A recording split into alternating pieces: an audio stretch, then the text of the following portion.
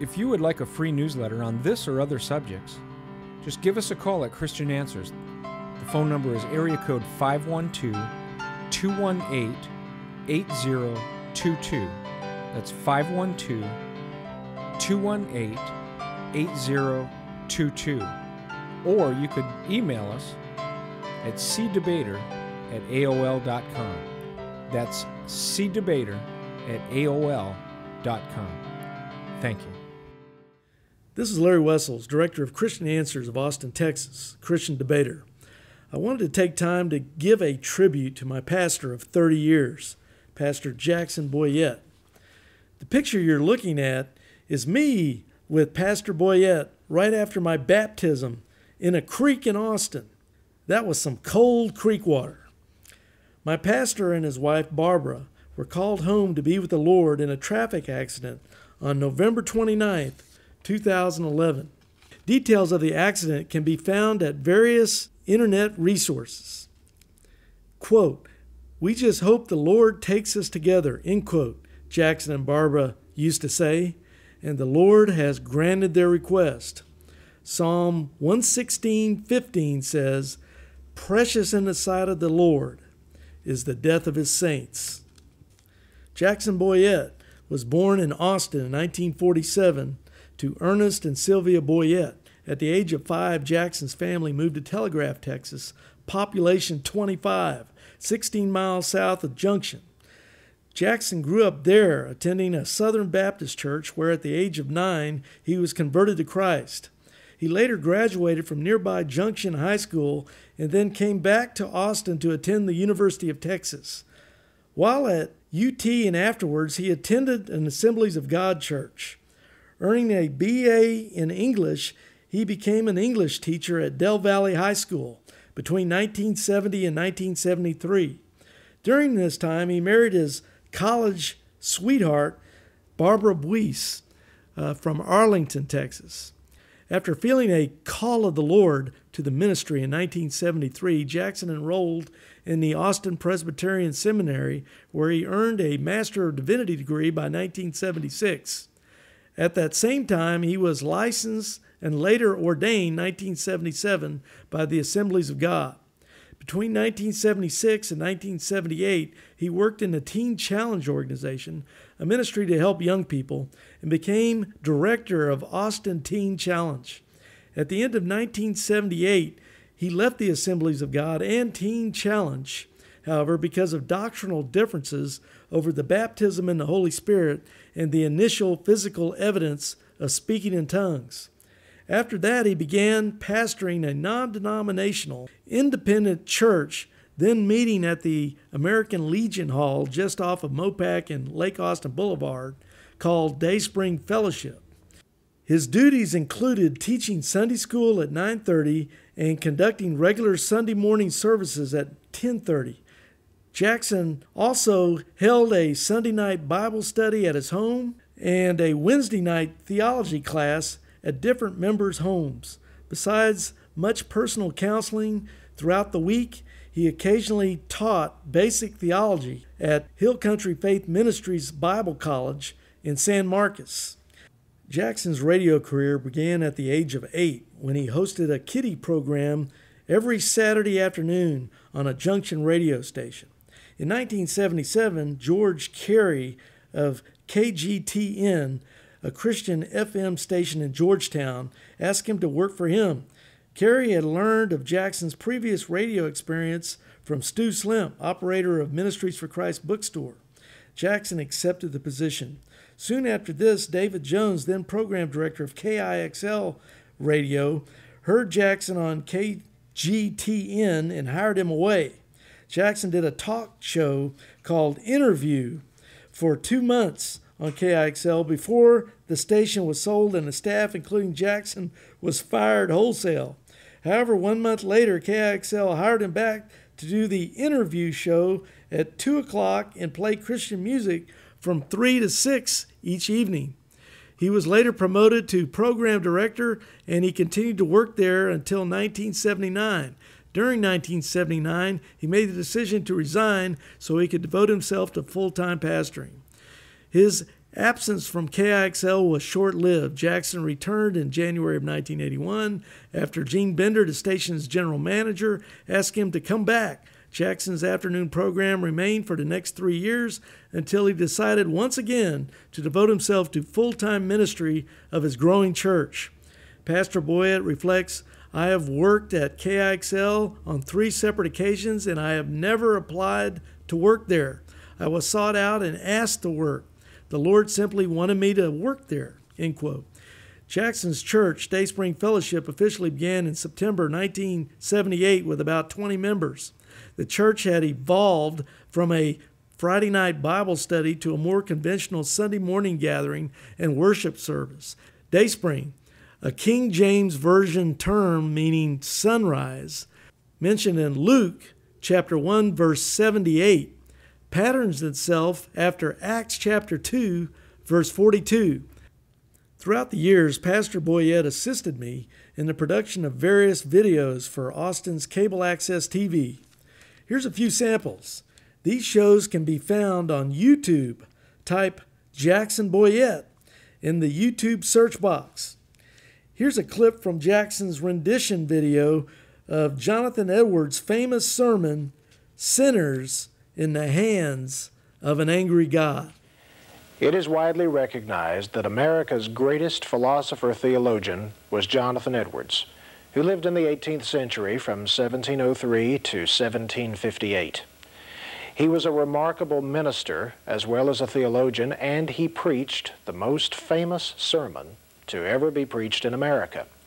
It's one of the very few sermons that has found its way into books of literature.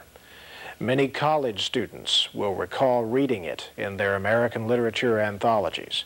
It's called Sinners in the Hands of an Angry God. The infinite might and majesty and terribleness of the omnipotent God shall be magnified upon you in the ineffable strength of your torments. You shall be tormented in the presence of the holy angels and in the presence of the Lamb. And when you shall be in this state of suffering, the glorious inhabitants of heaven shall go forth and look on the awful spectacle that they may see what the wrath and fierceness of the Almighty is.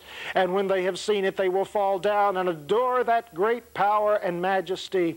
And it shall come to pass, says Isaiah, that from one new moon to another and from one Sabbath to another shall all flesh come to worship before me, saith the Lord. And they shall go forth and look upon the carcasses of the men that have transgressed against me for their worm shall not die, neither shall their fire be quenched, and they shall be an abhorring unto all flesh. Isaiah 66, 23 and 24. Here's Jackson doing his rendition of a famous sermon by Charles Haddon Spurgeon. The title of this video is called All Time Famous Sermons. The Hairs on Your Head Numbered by Charles Haddon Spurgeon, circa 1888. One of the greatest preachers who ever lived was Charles Haddon Spurgeon, born in 1834 and who died in 1892. For 38 years, he pastored a church in London known as the Metropolitan Tabernacle. It was an amazing pastorate and he was certainly the most popular preacher in London in an era when there were many popular preachers. His popularity can be attested by many statistics, but probably the most amazing one is this. The Metropolitan Tabernacle held 6,000 people, and four times a year, once a quarter, the actual congregation, the actual church members, were asked to stay home one Sunday evening per quarter so that visitors could come here, Charles Haddon Spurgeon, and they still had a full house with none of the members present. So that gives you some indication of the incredible popularity of this man. His, preach, his preaching has been uh, an enormous blessing through the medium of the printed word throughout the last century, and uh, many of his books still remain in print. Not only the man, But all that concerns the man is foreordained of the Lord. The very hairs of your head, that is to say, all that which has anything to do with you, which comes into any kind of contact with you, and is in any sense part and parcel of yourself, is under the divine foresight and predestination. Everything is in the divine purpose and has been ordered by the divine wisdom. All the events of your life, the greater certainly, the smaller with equal certainty. It is impossible to draw a line in providence and say, this is arranged by providence and that is not. It must take everything in its sweep. All that happens. It determines not only the movement of a star, but the very nature of the blowing of a grain of dust along a public road. All this from the very nature of the thing is clear. God's providence knows nothing of the things so little as to be beneath its notice, nothing of things so great as to be beyond its control. Nothing is too little or too great for God to rule and overrule. This Jackson video is from Studies of Ephesians, number four. God knows all, justification, faith is believing to the point of total trust. Hello, I'm Jackson Boyett. I'm glad you're able to join me for this program. It's called Understanding Your Bible. And I'm the pastor of a church that does a lot of Bible study. Dayspring Chapel, a Reformed Baptist church in Austin at 55th and Avenue G, just two blocks south of Koenig Lane. This program is designed for people who uh, perhaps don't know a whole lot about the Bible, people who have not been to church in a long time, or who have not read the Bible for a long time, or who have never read the Bible. But perhaps you have a copy there where you live, and you might like to go get it now, because this program is very much like any sort of instructional program, uh, say a cooking program or an aerobics program. It's designed for your interaction, and so let me just encourage you to go find that Bible, maybe one that was given to you as a gift, one that you've intended to read and kept for a number of years now and would really like to know more about. When you get it, bring it in and uh, sit down in front of the television and turn to the book of Ephesians while you're finding Ephesians, which is over in the New Testament, past Romans and 1st and 2nd Corinthians and Galatians. This Jackson video is called Health and Wealth Gospel number 5, Negating Positive Confession. And this video deals with the false TV preachers that are everywhere to be found. Hello and welcome. I'm Jackson Boyett, the pastor of Dayspring Fellowship a Reformed and Baptist church in the city of Austin, Texas, and we're very glad that you have joined us for this very special program today. I have a very special guest. He is the editor of an exciting book that came out uh, last year. It's called The Agony of Deceit What Some TV Preachers Are Really Teaching. And obviously, since I'm a TV preacher myself, I'm going to be very interested in seeing what our guest says about uh, this particular uh, subject. And if those of you who are watching this program watch other programs, you already may have an idea of what some TV preachers are really teaching. My guest today is the pastor of a Reformed Episcopal Church out in Anaheim, California, Mr. Michael Horton. Michael, good to have you with us. Thanks a lot, Pastor. Good to be with you. I'm going to try to explain uh, with uh, a, an oral illustration here why we're doing this program. If a picture is worth a thousand words, these excerpts are probably worth a million. Let's uh, let me push the right button here, and uh, you can get some sort of idea as to why we're going to take up the next hour of your time. If you need some money, I wouldn't change that dial. Jesus had a nice house, a big house. When I read in the Bible where he says, I am, I just smile and say, yes, I am too.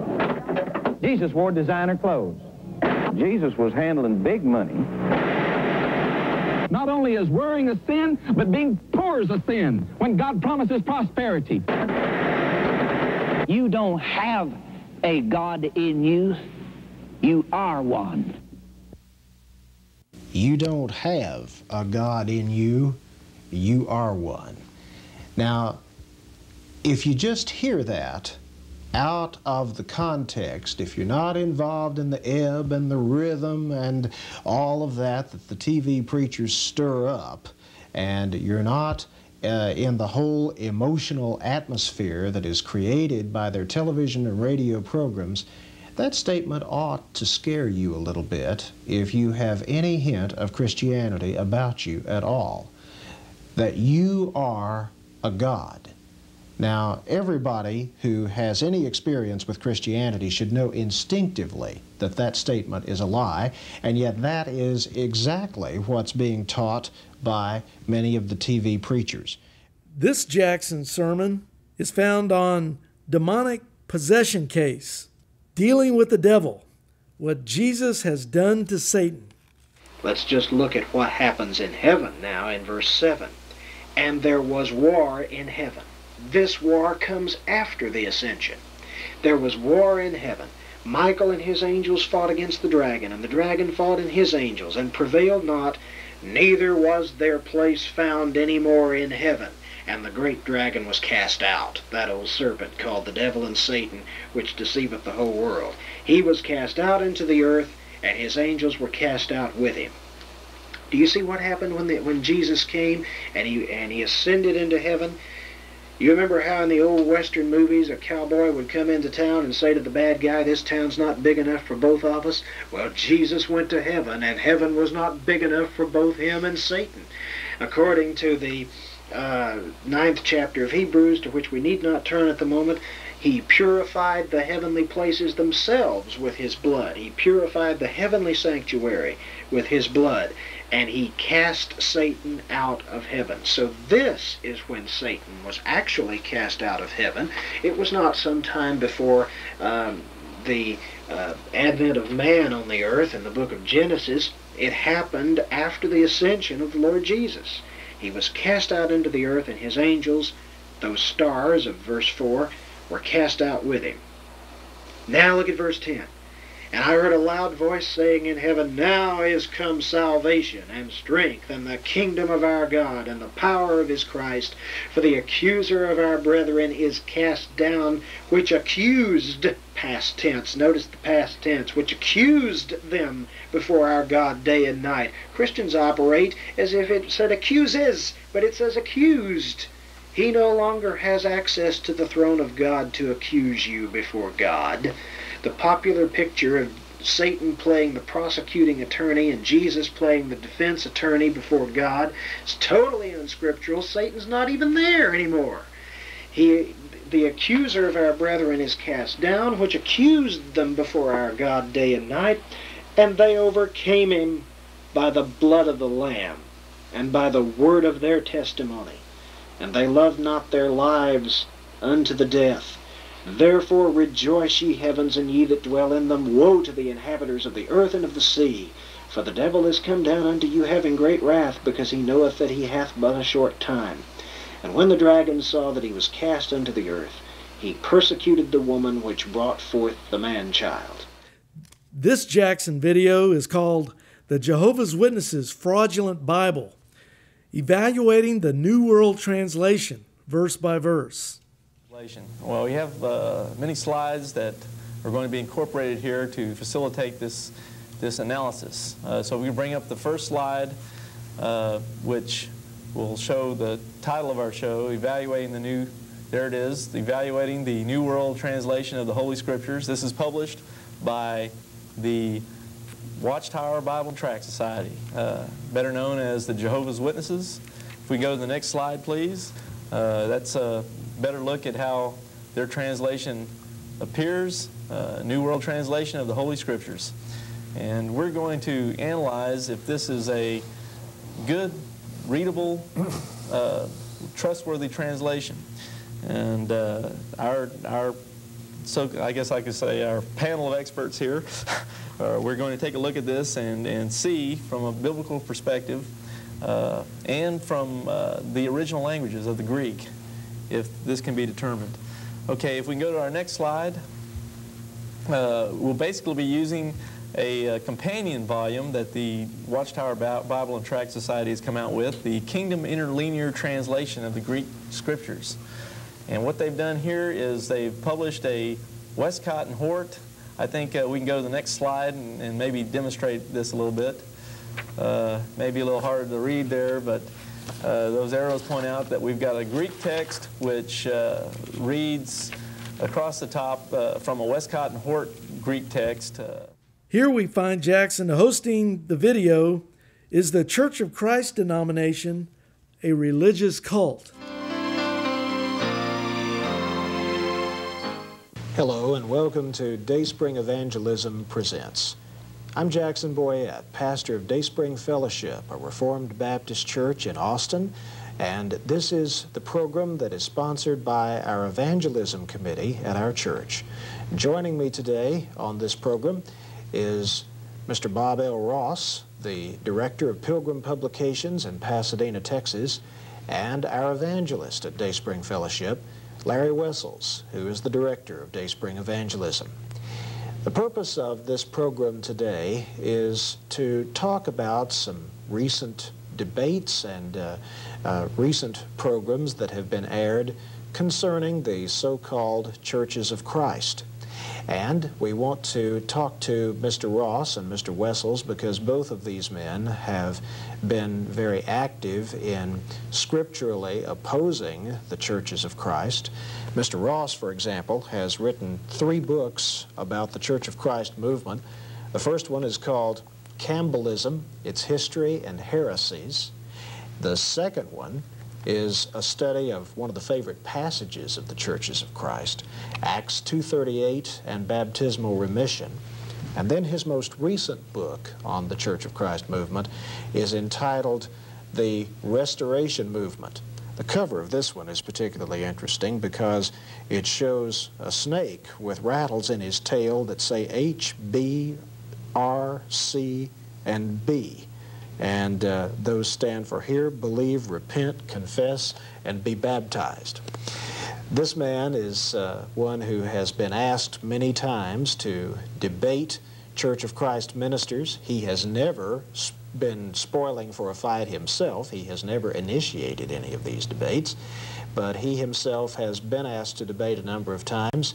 And over the years, there have been uh, Church of Christ ministers and Church of Christ people who have left this movement and have believed the gospel of Jesus Christ.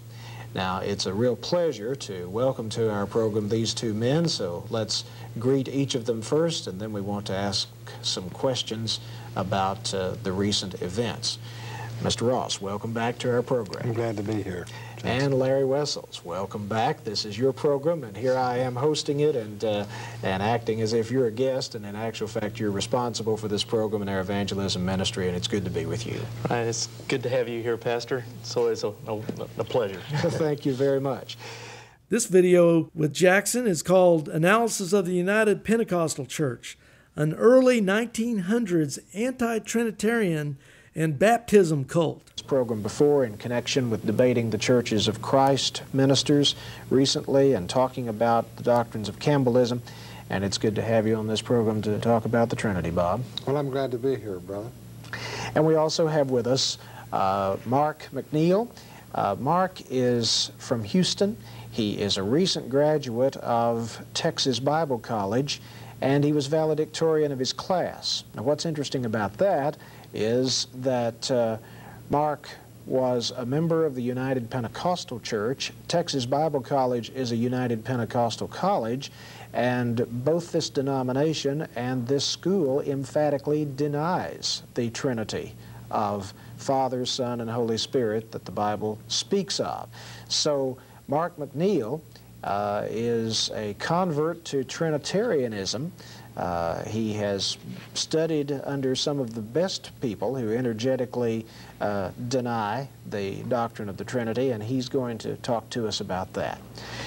Mark, I want to begin with you today because um, there may be some of our listeners out there uh, who don't even realize that there are professing Christians who deny the Trinity. They may uh, feel like that Trinitarianism is just such a foregone uh, conclusion or such an integral part of historic Christianity that they may be shocked to know that there are Christians who call themselves oneness people who deny the doctrine of the Trinity. This is a photo of Jackson's church at the Old American Legion Hall in Austin, Texas in 1983. I took the picture. The following is one of five videos in this tribute series to my pastor of 30 years. I look forward to seeing him and his wife Barbara again someday in the providence of God. But Titus 2 11 through 14 is the one that the elders remember as Jackson's favorite verse. For the grace of God has appeared, bringing salvation for all people training us to renounce ungodliness and worldly passions, and to live self controlled, upright, and godly lives in the present age, waiting for our blessed hope, the appearing of the glory of our great God and Savior Jesus Christ, who gave himself for us to redeem us from all lawlessness and to purify for himself a people for his own possession who are zealous for good works. John 14, 1 through 3. Jesus said, Let not your hearts be troubled. Believe in God, believe also in me. In my Father's house are many rooms. If it were not so, would I have told you that I go to prepare a place for you? And if I go and prepare a place for you, I will come again and will take you to myself, that where I am, you may be also. And Romans 35 through 39 Who shall separate us from the love of Christ? That's a beautiful passage. Shall tribulation or distress or persecution or famine or nakedness or danger or sword, as it is written, for your sake we are being killed all the day long. We are regarded as sheep to be slaughtered. No, in all these things we are more than conquerors through him who loved us. For I am sure that neither death, nor life, nor angels, nor rulers, nor things present, nor things to come, nor powers, nor height, nor anything else in all creation will be able to separate us from the love of God in Christ Jesus our Lord. 1 Corinthians 15, 19 through 22. If in Christ we have hope in this life only, we're of all of people most to be pitied. But in fact, Christ has been raised from the dead the first fruits of those who have fallen asleep. For as by man came death, by a man came also the resurrection from the dead. For as in Adam all die, so also in Christ shall all be made alive. Revelation 21, 1 through 7. Then I saw a new heaven and a new earth, for the first heaven and the first earth had passed away, and the sea was no more. And I saw the holy city, in New Jerusalem, coming down out of heaven from God, prepared as a bride adorned for her husband. And I heard a loud voice from the throne saying, Behold, the dwelling place of God is with man. He will dwell with them, and they will be his people. And God himself will be with them as their God. He will wipe away every tear from their eyes, and death shall be no more. Neither shall there be mourning, nor crying, nor any pain any more, for the former things have all passed away. And he who was seated on the throne said, Behold, I am making all things new. Also, he said, Write this down, for these words are trustworthy and true. And he said to me, It is done. I am the Alpha and the Omega, the first and the last. To the thirsty I will give from the spring of the water of life without payment. The one who conquers will have this heritage, and I will be his God, and he will be my son. Praise the Lord.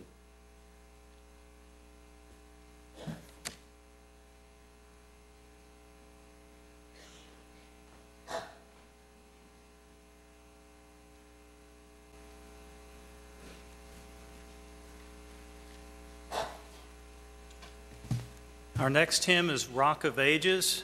Now, the tune that we're going to sing it to is different from the traditional tune. Jackson requested that it be sung to the tune Redhead. Uh, if you know the hymn Till He Come, it's the same tune.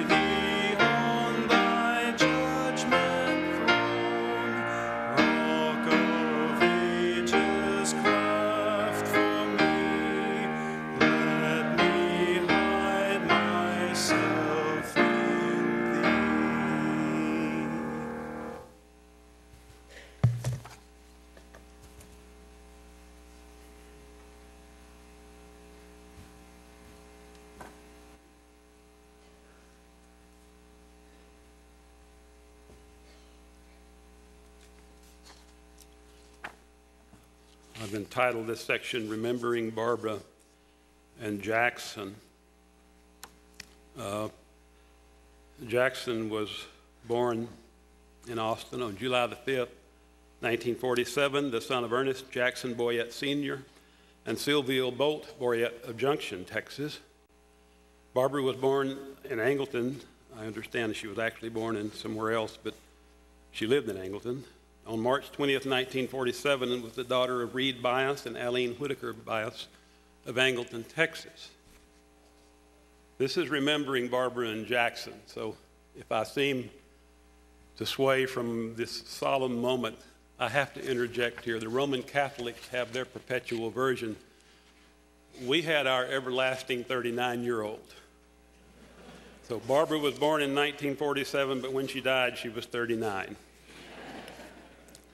The age at which Jackson married her keeps going down and down and down as, as we went through the various birthdays. They were both graduates of the University of Texas in English literature. Jackson graduated with a Master of Divinity degree from Austin Presbyterian Theological Seminary in 1976. And after working at a variety of ministries, they founded uh, Dayspring Fellowship. Uh, it was a Bible study that grew into Dayspring Fellowship, located at 5500 Avenue G in Austin. Jackson was also a friend, a counselor, a teacher, and former chairman of the board of To Every Tribe Ministries in Los Fresnos, Texas, and a board member of Providence Theological Seminary in Colorado Springs, Colorado. He and Barbara were both active in the Right to Life movement in Austin. They loved their Lord Jesus Christ. They loved Dayspring Fellowship, and they loved Texas, especially Austin. Jackson's father had served for a time as personal secretary to Governor Coke Stevenson as sergeant at arms in the House of Representatives. Jackson is survived by his stepmother, Frances Boyett of Austin, a stepbrother, Ben Lindsay and family of Austin, Trent Wilson and family, Danny Bolt and family, Carolyn Bolt Moore and family, Buddy Bolt family, and his cousins. They were all his cousins and all of Junction. Barbara is survived by her brother, Kenneth B. Logan of Portland, Oregon, her cousins, Shirley Miller, Shirley Miller of Alpharetta, Georgia, Gwen Howard of Shreveport, Louisiana, Dorothea Legrone of Carthage, Karen Simpson of Naples, Florida, Lanny Latil of Beaumont, Texas, Linda Holbrook of Lake Charles, Louisiana, and Jean Adams of Tyler, Texas, and a cousin we didn't realize Barbara had, and Barbara didn't remember or, or hadn't been able to get a hold of her for about 40 years. Darlene Hall of, Spring, of uh, Blue Springs, Missouri, is here with us today, and she and Barbara had just recently reconnected with each other by phone. We would be remiss not to mention the cats Sophie, Phoebe, and Zachary. As I said, we, we're calling this part Remembering Barbara and Jackson. And Barbara and I have many happy memories of our friends and our family, and they were like family to us. Um, as I thought about this day and this event, I knew how difficult it was going to be for all of us, especially us. I want to tell you something about them that you probably already know if you're a day springer, but you might not know if you haven't seen them in a while. For all, I call these things now boyettisms, and for all of his learning, his polish, and his style, Jackson was at heart a telegraph boy. Now, if you don't know anything about Texas, I don't even know how to say this, but there's a cowboy culture that starts somewhere south of Austin and west of Austin, and it kind of sweeps across the state after that. And, and Jackson had his feet firmly planted in that cowboy culture. Because he, he very seldom admitted to mistake, but one of my favorite sayings that he had when he did admit to a mistake was, You know, that horse hadn't drugged me 30 feet before I knew I'd made a mistake.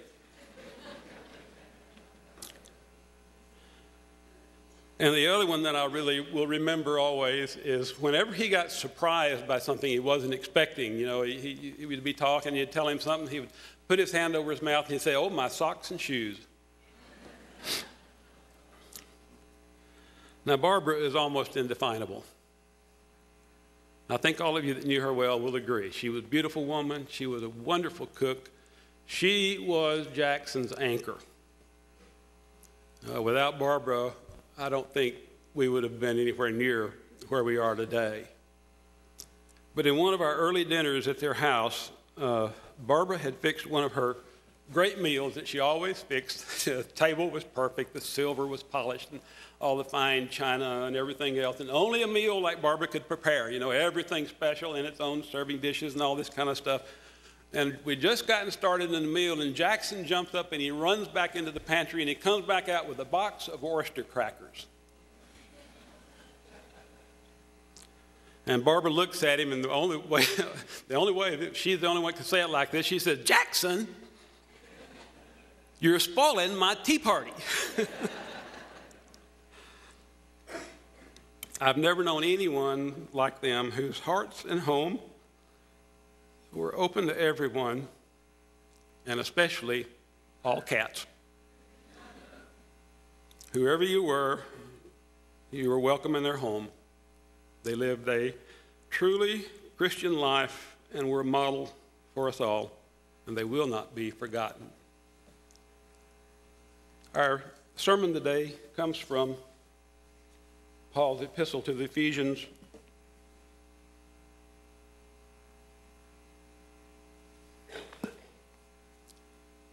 Second chapter, verses 1 through 10. This was Jackson's favorite verse.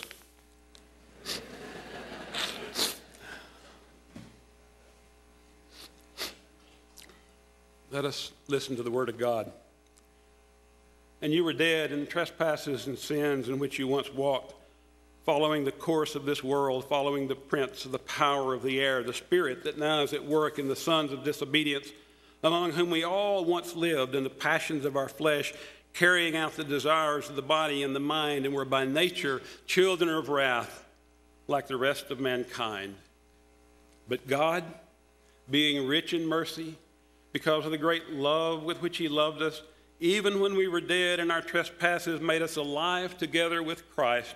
By grace you have been saved, and raised us up with him, and seated us with him in the heavenly places in Christ Jesus, so that in the coming ages he might show the immeasurable riches of his grace and kindness toward us in Christ Jesus. For by grace you have been saved through faith.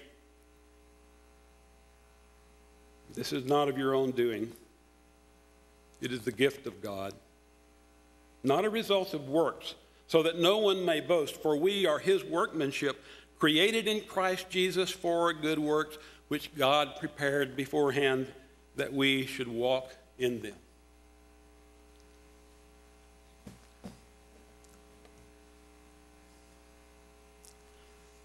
Jackson and I always had an understanding in our earlier years, it was partly in jest, and then we nevertheless were serious about it that whichever one of us died first, the other one had to preach his funeral. And I always prayed and hoped that it would be the other way around, and he would have to preach my funeral. The Lord, however, has his own way, and it's perfect. And so we are gathered here today to remember our dear brother and sister. The Lord answered a consistent prayer that Barbara and Jackson had, and that was that if they had to go, they wanted to go together. That prayer was answered. Back in 1976, Jackson and Barbara were getting ready to fly to London to celebrate their 25th anniversary. They would have been married 40 years, the 18th of this month. It was a sealed envelope, and on the outside it said, To be open in the event of our deaths, because Jackson knew that sometimes airplanes fall out of the sky. And they went to England and they celebrated their wedding anniversary in England. And I, I never opened that envelope until just a few days ago. And he left a message for you. Here's what he wanted me to tell you Dayspring. Tell everyone at Dayspring how much we love them. Don't let them abandon the gospel. Make sure that whoever succeeds me loves people and will constantly remind them of our loving, gracious, invincible God. Don't let them abandon the gospel. So that's my desire this morning to preach once again that glorious gospel of Jesus Christ, that gospel that Jackson and Barbara clung so closely to. The Apostle Paul was a brilliant man. I heard someone once say, I think it was R.C. Sproul once said that they have calculated that if the Apostle Paul were living today, he would have had two PhDs by the time he was 25 years old. But like all the other writers of Scripture, we believe that he wrote under the influence of the Holy Spirit so that what he wrote was divinely inspired. Paul has some difficult things to say to us, but he also has some glorious things to say to us. And they're both found in these 10 short verses. If you're going to preach, you want to find a, a good condensation of the gospel from beginning to end, look to Ephesians 2 1 through 10. In verses 1 through 3, Paul describes our condition apart from God, apart from the Lord Jesus Christ, what theologians sometimes refer to as what we are by nature. Now, the title of this sermon is the Ordo Salutis. I threw that in there just so Jackson would know I hadn't forgotten some of my theological terms. What it means is that we are humans. And what Paul says here applies to all humans without exception. In our culture, as in others, there are laws, and these laws vary in terms of the kind of level of punishment for any particular violation. Someone who steals a car is not punished uh, under the same level of intensity as someone who commits murder and so on. But with God, any sin and all sin condemns us to eternal punishment and separation from Him. Now, the main reason for this is because not of you know, who we are, but of His holiness. God is not that gray haired grandfatherly type depicted by Michelangelo in the Sistine Chapel and in most of our cultural accounts of him. God is a pure spirit, and he knows everything, and he sees everything. He is present at all times and at all places. He is glorious above glory. There is no other being as glorious as he is. And his purity and his holiness will not allow sin in his presence. It cannot. Because then it would reduce his holiness and sully his holiness. Now, in Ephesians, Paul is writing to Christians, to believers, but he wants them to remember what they were before they were Christians, before they were converted and believed in the Lord Jesus Christ. Now, look at how he describes them, and let me stress here that Paul is talking about everyone. No one is exempt from what he writes here. We were dead in trespasses and sins. We were following the course of this world, we were following the prince of the power of the air. And in case you don't know, that is Satan. Paul describes him as that spirit who is now at work in the sons of disobedience. There really is, brothers and sisters, a purely evil being, a fallen angel, who, as Scripture teaches, goes around like a roaring lion seeking whom he may devour. And Paul here calls him the prince of the power of the air. He's located here. Now, Paul includes himself in his description of that crowd. He starts with you and then he switches to we. Some of you may not know that Paul considered himself to be the chief of sinners. I disagree with him on that point. I think I hold that position, but nevertheless, I can't argue with an apostle. Now, this is not Paul mocking unbelievers or pointing his finger at them and sneering at them. He's saying this is who we were before something really big happened. Now, here is the issue with these verses as I see them. The person who doesn't believe in the Lord Jesus Christ and hasn't experienced the transformation that he brings to believers cannot understand that they fit the picture of the first three verses.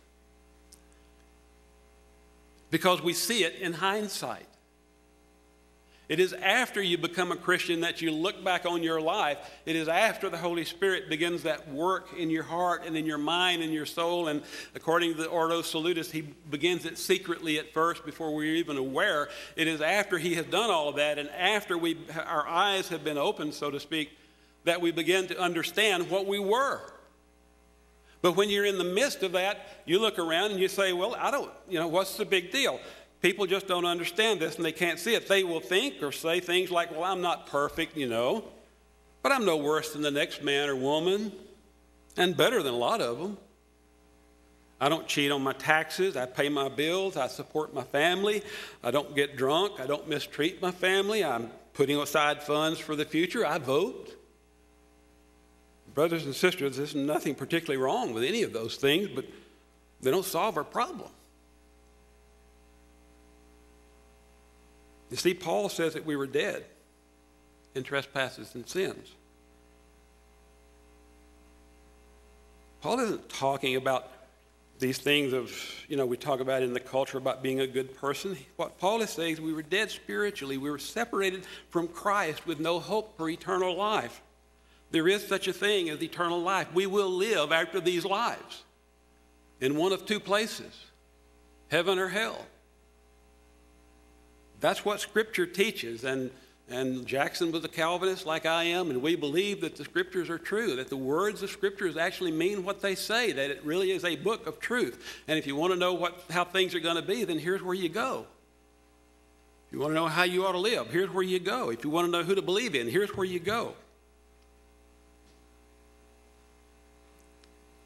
We do not have, you know, we don't have the ability to work our way out of that. The, culture tells us when we begin to think that we may be in some kind of a not so good situation that what we need is to lose some weight, join a yoga class, read a self help book, or maybe even go to church.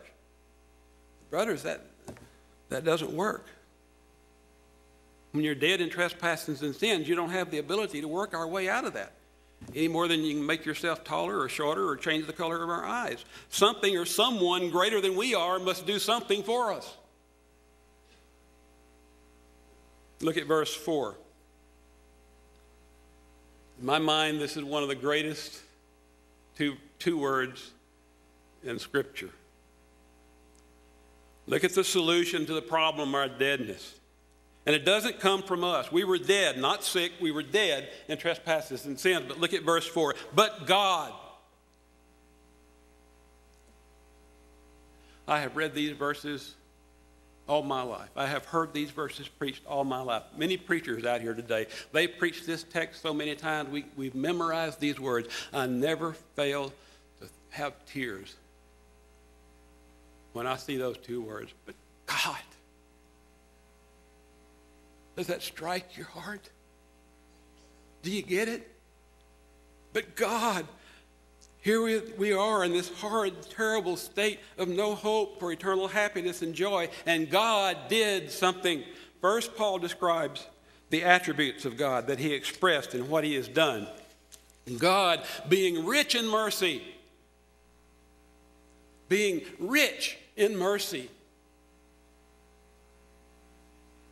What prompted God's mercy? What was it that caused God to be merciful towards those who had nothing but condemnation and disdain for Him, who hated Him, who were living in that lost condition? What prompted God to have that mercy? And Paul tells us and don't miss the context here. Even when we were dead in our trespasses, there's the context. Then there's nothing lovable about us. We were as Paul described us. Do you realize what this means? God didn't wait until we were good enough to be loved by Him. He didn't look upon our works and see that we were deserving. He loved His people while they were still dead and in their trespasses and sins. He loved us as we were, dead in transgressions against Him and dead in sins against Him. Because of that love, He did something in the middle of verse 5. He made us alive together with Christ. And Paul adds a little parenthetical point here that he's going to enlarge upon in a few verses. By grace you have been saved we will come back to that. Paul points out three things that God has done for us in Christ Jesus. Never lose that point. Everything that God has done, He has done through His Son, Christ Jesus. The Gospel of John tells us that even as He created the world, He was creating the world through Christ, the second person of the divine Trinity. But he points out three things that God has done for us in Christ. One, he has made us alive together with Christ. Two, he has raised us up with him. And three, he has seated us with him in the heavenly places. And every one of those things are either with Christ or in Christ. Now, think about this.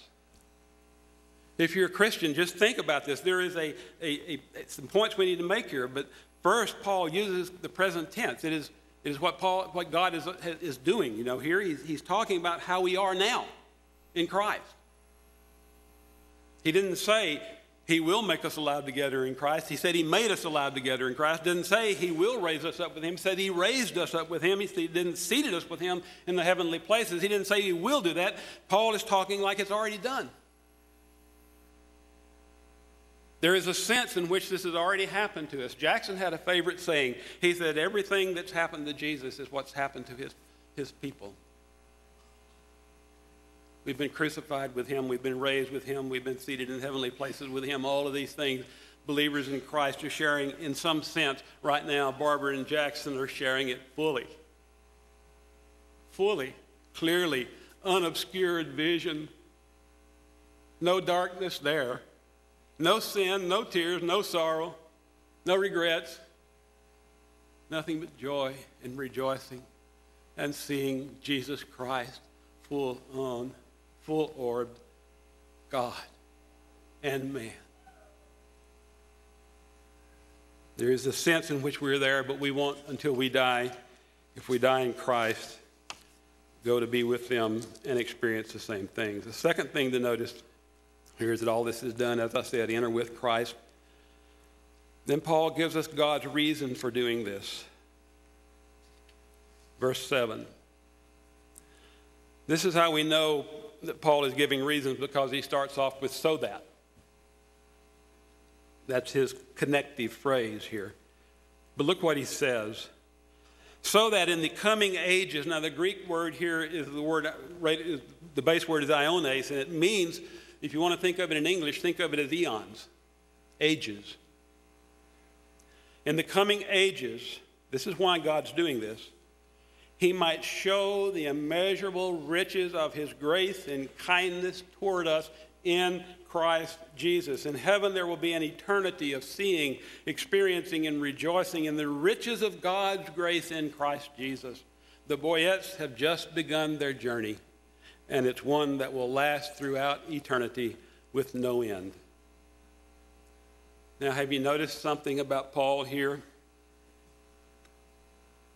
He hasn't mentioned one thing that we have to do in order to get to that place. Has he?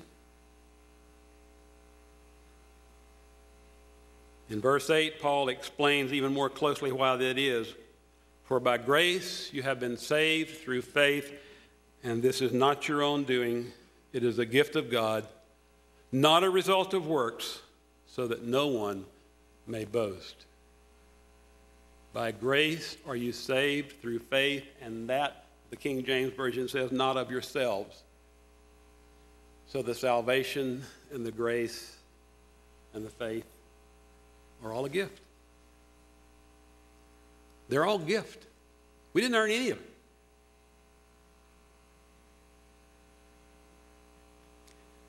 Now, grace is generally defined as unmerited favor. That means it can't be bought, it can't be earned, it's freely given. Paul wants to make sure that we understand, however, so he emphasized that it is not by our works. The reason is not that by any of our works is so that God may have the glory here and Jesus Christ may have the glory here. Father, Son, and Holy Spirit will be glorified. If there were something we could do, we would be inclined to boast in ourselves. We would want to say, Look, God, look what I did for you. See how much I deserve your, your honor and your love and your grace. That's our inclination, brothers and sisters. That's the way we think, and that's the way we would do, and that's what we would want to do.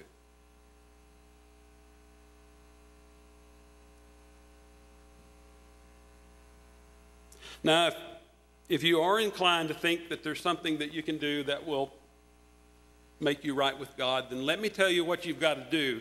You've got to find a work that is equal to or better than the life and the crucifixion and the resurrection of the Lord Jesus Christ.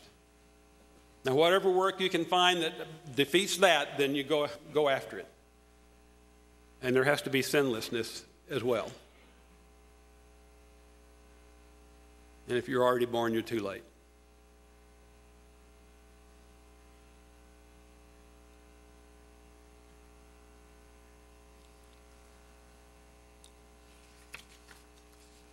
Now, to emphasize and repeat, let me say this to you that this gift is ours by grace.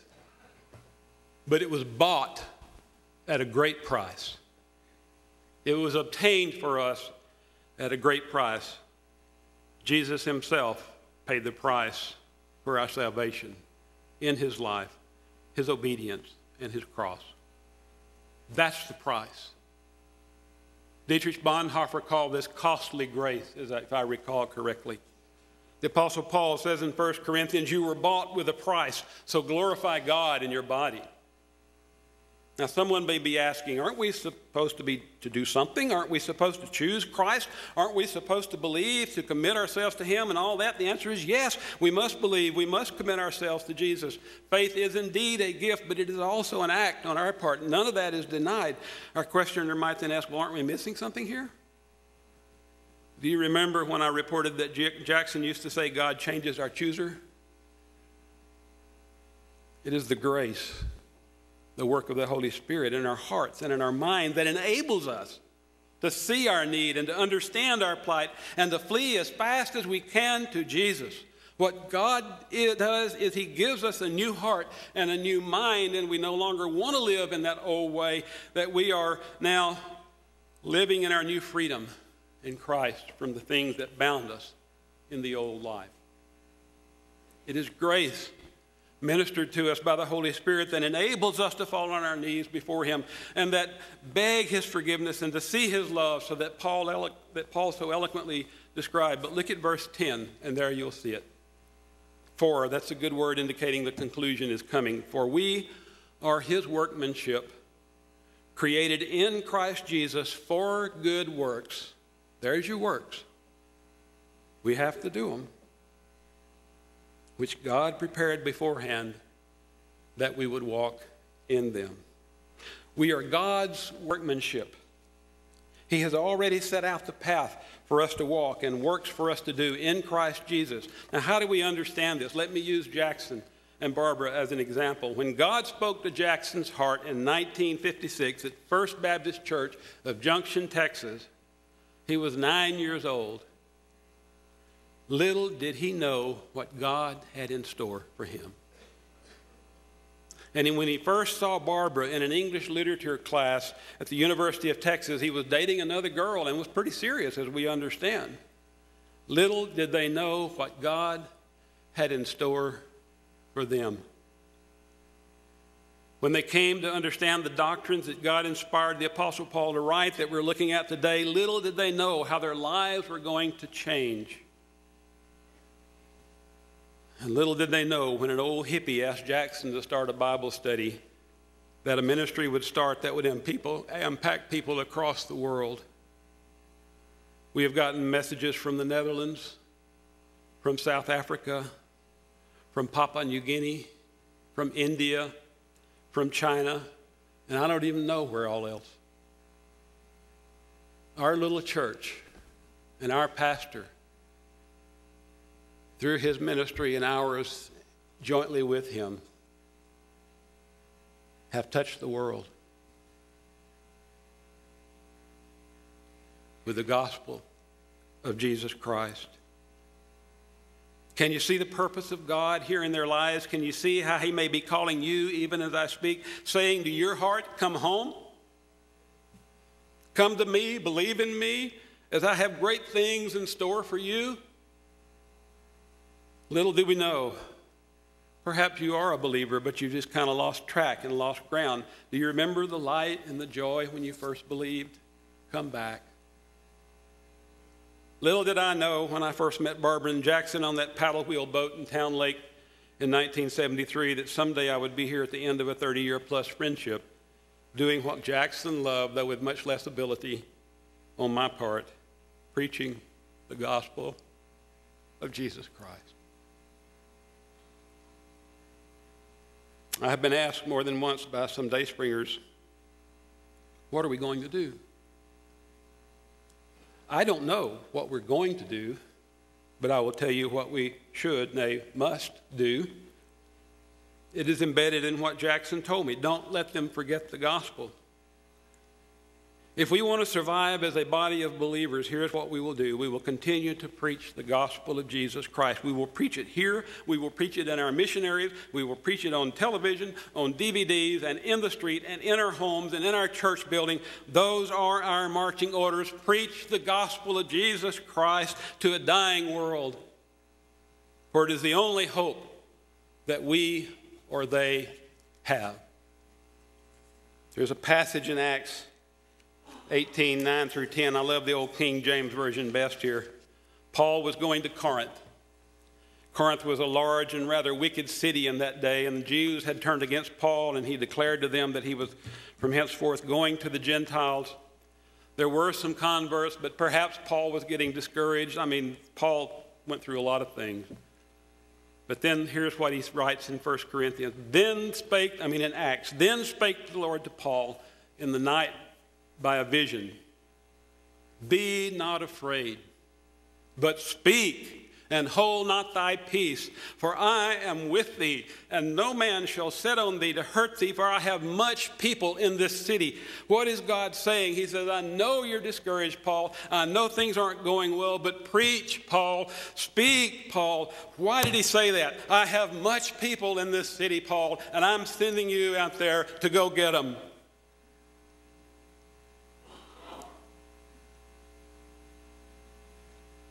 And so that is our job. It's our primary job. Our fellowship is wonderful and necessary, and we love it. Our traditions are precious to us and of long standing, but our main reason for existing as a church is to preach the gospel of Jesus Christ. Without that, the rest doesn't matter very much. Now, there are many ways of doing that. We have had a great example. The Lord gave them to us for a while. The Lord has taken them away. Now it's our turn to become examples to the next generations, praying that the Lord will also raise up among them those who will continue to preach this precious, eternal, soul saving, life changing, mind cleansing gospel of God showered upon us in Jesus Christ our Lord. To him, be all glory forever and ever and ever. Check out our websites BibleQuery.org. This site answers 7,700 Bible questions. HistoryCart.com. This site reveals early church history and doctrine, proving Roman Catholicism is not historically or doctrinally viable. MuslimHope.com. This site is a classic refutation of Islam, a counterfeit religion created by Muhammad.